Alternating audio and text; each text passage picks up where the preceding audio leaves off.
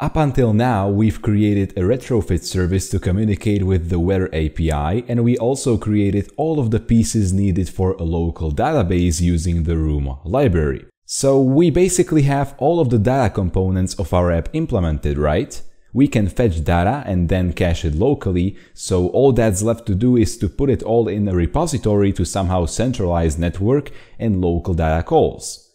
Well, while we are really close to creating a repository, we still have one important step unfinished, and that is that we need to wrap the retrofit Weather API service into a special class to create an abstraction and to give the code making network calls a better structure. Hello, welcome to ResoCoder and first let's check out our current state of the app. So when we have a network connection going, LTE is connected on an emulator and I launch the app, it launches just fine and it's perfect, right? Everything works. We can see the current weather response, which is pulled from the server. But when I close the app and turn off the network connection and then launch the app, as you can see, Forecast MVVM has stopped. Why is that? Well, the answer is simple. We don't have an internet connection and whenever we are trying to fetch data from the API for our weather, we don't have no data connection, so the app crashes. Obviously, there has to be some kind of a way to go around this issue because you have multiple apps on your phone probably at this precise moment and they also depend on uh, the network connection being present, for example, Facebook, right? But when you open the Facebook app or the YouTube app, it doesn't crash. It just shows you that there is no internet connection, so it somehow handles it and then only lets the user know that he should or she should launch the network connection, for example Wi-Fi or LTE. While in this tutorial we are not going to notify the user that he needs to enable an internet connection, we will at least prevent the app from crashing. Let's check out the Apixu Weather API service, which we built in the previous parts. And over here, you can see that we are adding an interceptor to the OKHTTP client and the interceptor is the one which adds our API key to each and every query that we make. We are going to build a very similar interceptor right now, but it will not add anything to the query, but it will rather check if we have an internet connection currently, and if we don't, it will throw an exception and then later on we can catch that exception whenever we are actually calling the Apixu Weather API service. And whenever an exception is caught, we have the power to not let the app crash. So let's open up app and then Java, the first package, data, and then network.response. And let's create a new interface over here. And its name will be connectivity interceptor. Currently, this connectivity interceptor interface is added under the network.response package, but we want to move it only to the network package and not under the response, which is under network. So just drag the connectivity interceptor to any kind of package, for example, data itself. And then we are going to change the package from data to say dot network and not dot response. And now when we hit refactor, we have this response package separated from the network. So it's no longer network.response, but the response is an actual folder, so to say, under network. And then we have also connectivity interceptor under network itself. We've created this interface connectivity interceptor only because we are later on going to use it with a dependency injection. But for now, we are not going to be implementing dependency injection. However, if you want to learn more about dependency injection with Kodein for Kotlin on Android, even before we get to it in this tutorial series, you can do so by clicking on the card in the corner. This interface will implement another interface, which is interceptor from OKHTTP 3. Now let's create an actual implementation for this interface and let's do it through a quick uh, function of Android Studio. So just go over to interface and hover over it and you will have this light bulb over here. and we want to implement interface. So just click on this and its name will be connectivity interceptor IMPL, which stands for implementation and is going to be under the network package too. So let's create it and let's also override all of the possible functions. So first, our connectivity interceptor will need to have an instance of context this is because we need the context to get a system service, which will tell us whether or not we have the internet connection enabled. But we don't want to have a reference to any kind of context. We want to play it safe and have a reference only to the app context. So we are going to create a private val app context, which will be equal to context, which is this uh, constructor parameter. And from this context, we want to get application context. So even if this context is an activity, we're going to get an application context from it.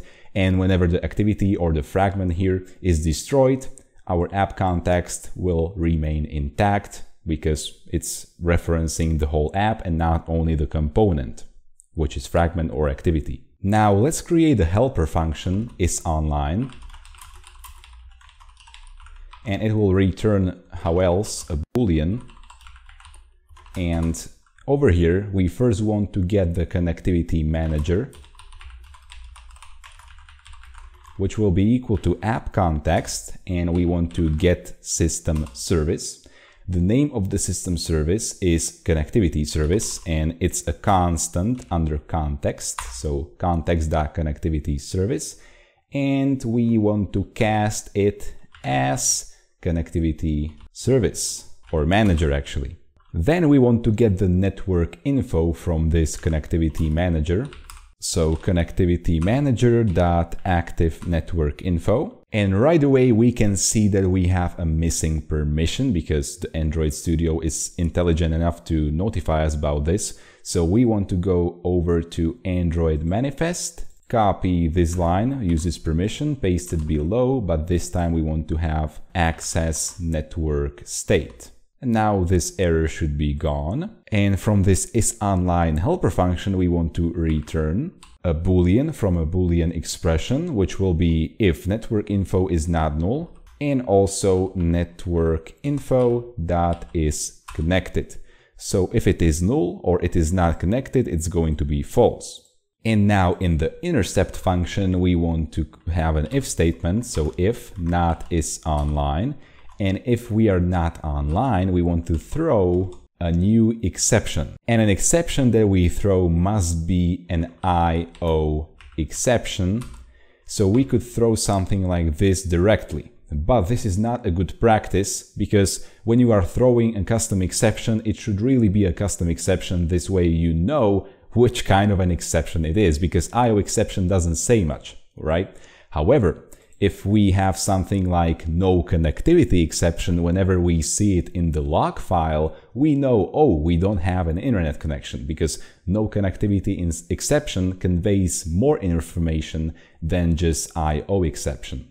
So let's create our custom exception class, but we are not going to do it in this file directly. We are going to actually create a separate package and a separate file for that, for all of the exceptions.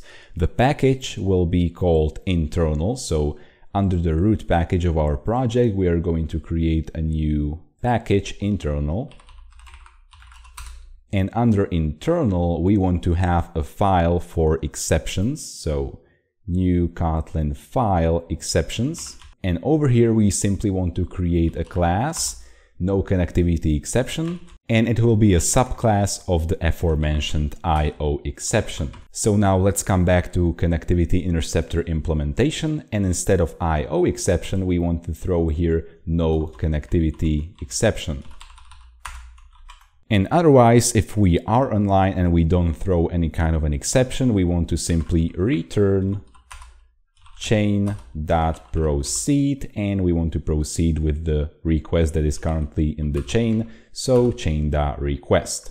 Alright, now that we have this connectivity interceptor implemented, we can go to our Apixu Weather API service and add an interceptor over here. So we can write that add interceptor And we could technically do it like this. So just instantiate a connectivity interceptor implementation directly over here and then pass in a context, right? But this is not a good practice at all because it creates tight coupling. So what if, for example, we want to swap the implementation of our connectivity interceptor to one that always throw exceptions? No matter what the current network condition is, we always want to throw an exception, right? With this approach, we would need to physically swap this line of code to create or instantiate a different instance of the connectivity interceptor for example, one that is called connectivity interceptor always throws an exception, right? We would need to manage these dependencies ourselves. But we don't want to manage dependencies ourselves when we have beautiful libraries like Kodein or even Dagger, which can manage dependencies for us. So we aren't going to instantiate the implementation directly over here. Instead, we are going to use a dependency injection and while we are not going to implement the dependency injection in this tutorial, we are at least going to prepare our code to work with dependency injection once we implement it and implementation of it will be coming in just a few tutorials in the future so definitely subscribe to this channel and also hit the bell button if you don't want to miss that. For now just let's prepare our code to work with DI. So instead of instantiating implementations directly we are only going to pass them to this invoke function and we are going to pass them through the interface. That is precisely why we have even created this pretty much useless interface. It's only useful because we are using dependency injection. So we want to have a connectivity interceptor passed over here of type connectivity interceptor interface. And then over at at interceptor, we want to pass in the connectivity interceptor, which is passed to this function. Alright, so now that we have all of this implemented, we could basically go to current weather fragment where we have currently a working but not really cool implementation of the data fetching implemented. And because we are throwing an exception whenever there is no internet connection, we would just need to wrap this code in a try and catch statements and then catch the exception and uh, possibly notify the user that he or she should enable network. But we aren't going to do that directly. We are rather going to create another class which will be Weather Network Data Source. Weather Network Data Source will be an abstraction on top of the Apixu Weather API service. So whenever we are requesting data, we don't need to deal with the Apixu Weather API service directly. And also all of the exception handling will be done in that Weather Network data source and not in the client code. So let's create that Weather Network data source right now under the network package. We want to create a new interface precisely for the same reason as we created the interface for connectivity interceptor because we are using dependency injection. So weather network data source. And I just noticed that Apixu weather API service is not under the network package. So let's correct that really quickly by dragging it over to network. Now this weather network data source interface will have a val downloaded current weather which will be of type live data, and the generic type of live data will be current weather response. Then this interface will also have a suspending function, fetch current weather, and it will accept a location string and also a language code, also of type string. And what you can notice here is that contrary to the Apixu API service, where we are returning the current weather response directly from the function which is called, which name is get current weather. Here in weather network data source, we aren't returning the current weather response directly from the function.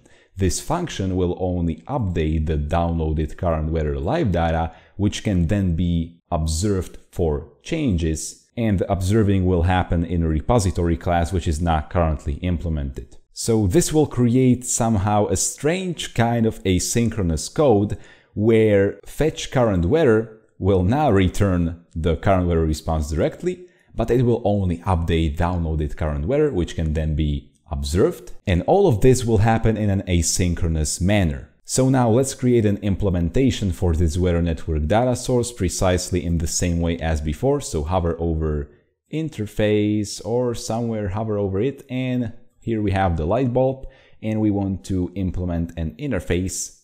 This implementation of weather network data source will have one constructor property which will be private val Apixu Weather API service. And over in fetch current weather, we want to have a try catch block, so try. And we want to try to fetch the current weather from the Apixu API service. So val fetched current weather is equal to Apixu API service dot get current weather and we want to get it for the location and also language code which is passed to fetch current weather function and then we want to await. Then we want to update the downloaded current weather with the value which was fetched from the API, which is currently stored in fetched current weather.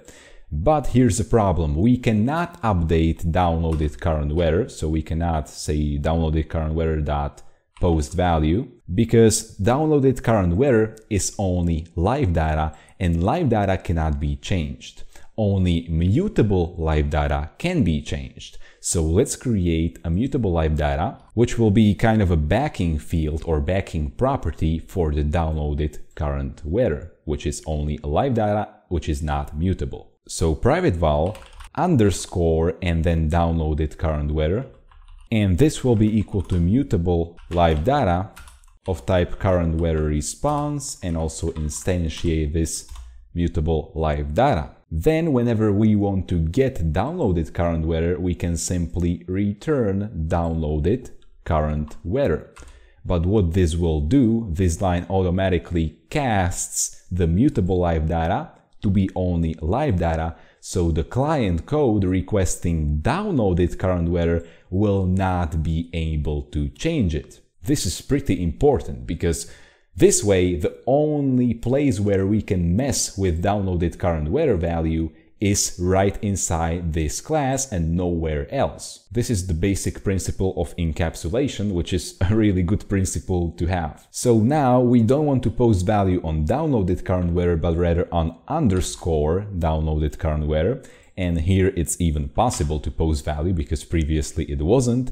And we want to post value of fetched current weather. And now, whenever we catch an exception, and that exception E is of type no connectivity exception, which we have created in this tutorial, then we simply want to log an error for now. So log E, the tag will be connectivity, and the message will be no internet connection. And then we also want to pass in the exception itself so that we have the stack trace. Alright, so now that we have all of the classes which are needed implemented, let's go to current weather fragment and let's demonstrate our current network data fetching setup. In the next part we are actually going to create a repository so we won't have to do all of this trickery as I will show you now to get the network requests going and we will also cache all of the network data inside the local SQL database but for now let's just work with what we have. So we are still going to need Apixu Weather API service, but we are going to pass in the connectivity interceptor implementation. And again, this is not how you want to do it, but for now, just for the sake of an example, let's do it like this. So we also want to pass in a context, which will be this fragment.context. And we also need to put two exclamation marks over here to make it non-nullable. Then we are going to create the weather network data source, so val, and this will be equal to weather network data source implementation again, and we want to pass in the created API service, which is Apixu Weather API service. And then straight away, let's observe the property on weather network data source. So we want to get the downloaded current weather and we want to observe and the lifecycle owner is this fragment for now. And the observer will be as follows. Basically, we want to copy this line of code where we are setting the text view and we can actually cut it from here and paste it over here. And we want to convert it to string because it is of type current weather response, which is from the observer. And in the launch on the global scope, which is not again a good practice to be working with global scope inside a fragment, but again, this is just for the sake of an example, we simply want to call weather network data source dot fetch current weather and the location will be London and the language uh, London if I could spell and the language code will be only EN for English. So now let's launch this app and we should see no difference with the previous app actually because we only changed the implementation but the functionality will stay the same. The only difference in the functionality will be that the app won't crash if we don't have an internet connection. So the app is already on this device and when we launch it, even when we don't have an internet connection, it is not going to crash and it only shows current because this is the default value of the text view. So that's pretty cool. We already aren't getting the app crash whenever we don't have an internet connection. But when we close the app and enable internet and then launch the app, it still works. So everything is working properly, even though we completely changed the underlying implementation where we have weather network data source and we are not calling functions on the Apixu weather API service directly. In the next part, we are gonna be implementing the repository, so definitely subscribe to this channel and also hit the bell button if you don't want to miss it. Remember that you can get the code from this tutorial by clicking on the link in the video description, which is going to take you to resocoder.com. If this video helped you, give it a like and also share it. If you have anything to say, leave it in the comments. Follow me on Instagram, Facebook and Twitter. My name on all of them is at resocoder and see you in the next video.